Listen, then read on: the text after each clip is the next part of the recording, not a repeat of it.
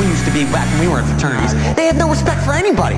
Okay, they're like they're like stupid little goddamn savages. bitches, they're I mean, I came in bitches. there right, and I was polite, and I was nice to them. I was cordial, and they completely goddamn disrespected me. Little idiots, idiots.